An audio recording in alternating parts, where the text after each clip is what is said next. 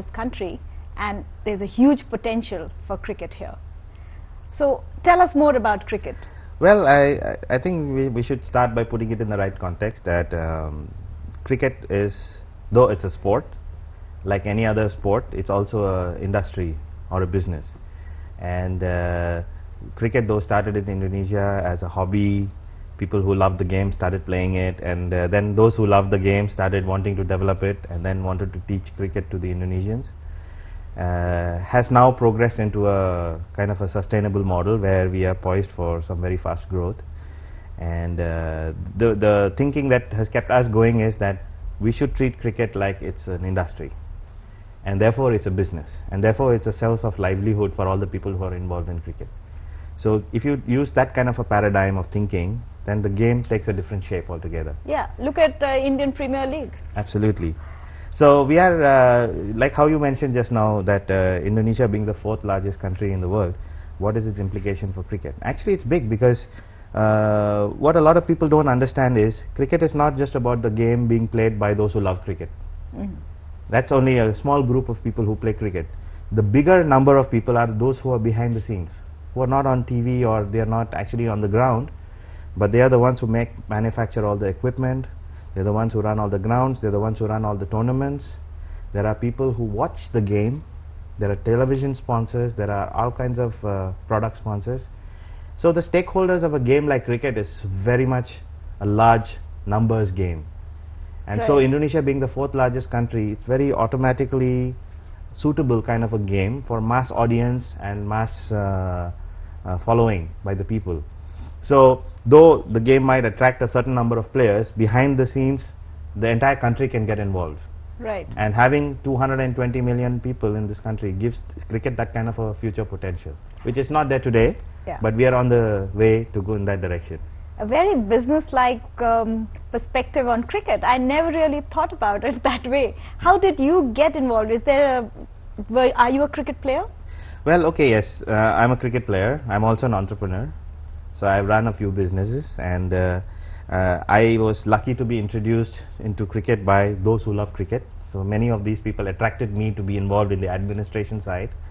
And this started a long time back. I used to be the former president of the Jakarta Cricket Association for three years and then I moved to Cricket Indonesia where I was the chairman of Cricket Indonesia for a year and a half period and uh, uh, we did some initiatives both in JCA as well as Cricket Indonesia which were using a combination of entrepreneurship models and business models right. into sport development. So you are so looking at cricket from the top?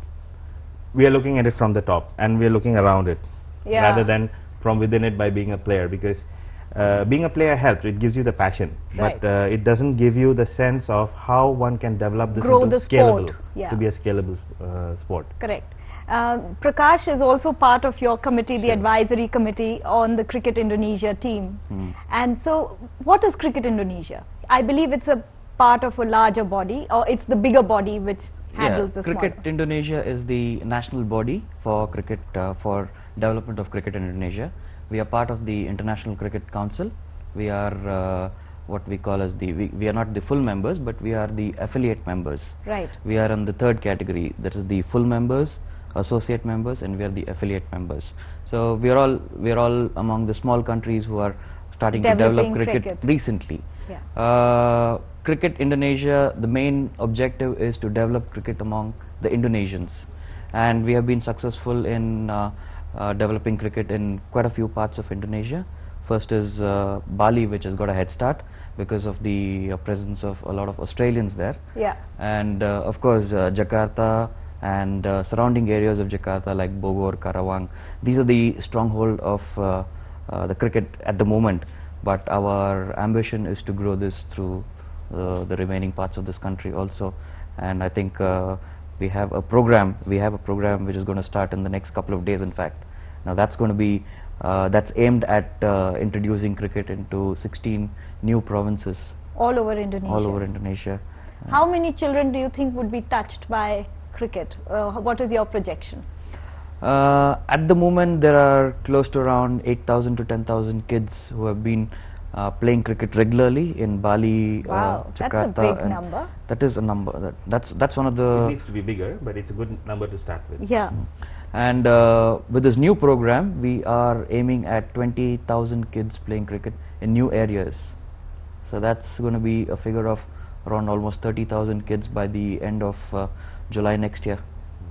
Actually, just to add a little bit on what Prakash said, uh, 8,000, 20,000, what do these numbers look like when you compare it to the total population, let's say 220 million? Or you compare it to how many kids who actually play soccer. Right. And the soccer phenomenon here is similar to the Indian experience where Of people play on the street. Yes. Now, how can you get kids in Indonesia to play on the street? There is only one solution. You must provide them bats and equipment to play with. So, the biggest challenge here is if a kid learns to play cricket in his school, can he go home and teach it to his friends in his neighborhood? Today he cannot. Hmm. Because he only gets the bats in the schools and he has to return it when he comes back. So are uh, are you also Yes. So- developing the so- equipment manufacture here? Yes, we have in fact pioneered the first Indonesian bats being made in this country for, for play for kids, basically. So you play with a tennis ball rather than a cricket ball. Right. And these bats are being made right now. And uh, we have one sole manufacturer and we hope to get this across to maybe about uh, four or five manufacturers during the year. We want every kid who joins this program to buy a bat and then go home and get 10 kids in his neighborhood to play. So this 20,000 can actually become 100,000 kids in a year or two Yes. by providing enough Absolutely. equipment. In fact, it can grow hmm. mul- many fold. And that's the that. approach we are trying to take. We are trying to take this approach of being practical about how can we get more kids to play it because they love the game. And so we are trying to find solutions to all the problems there are in how to grow the game. Yes, this is indeed fascinating. Never thought of cricket in that manner, and I need to know more. Yeah. Stay with us, viewers. We'll be right back with you after this.